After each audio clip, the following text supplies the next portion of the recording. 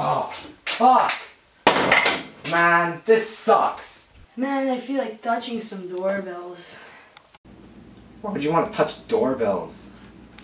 You ever heard of something called Ding Dong Ditch?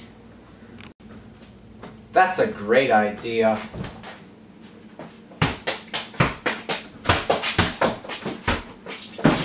Watch out, man. What the fuck?